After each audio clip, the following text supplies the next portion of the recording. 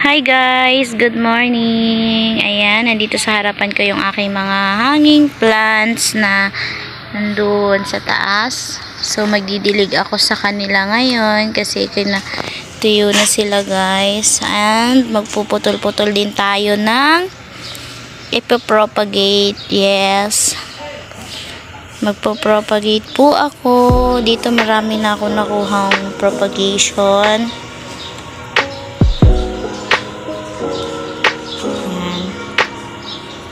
Dito din, parang gusto ko tong iripat. Kasi naglalagas na yung kanyang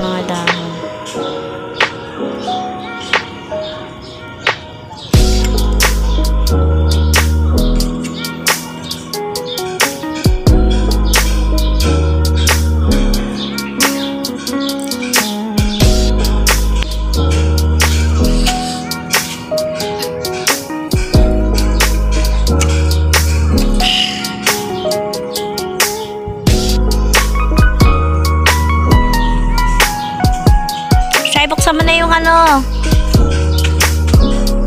Yung tubig.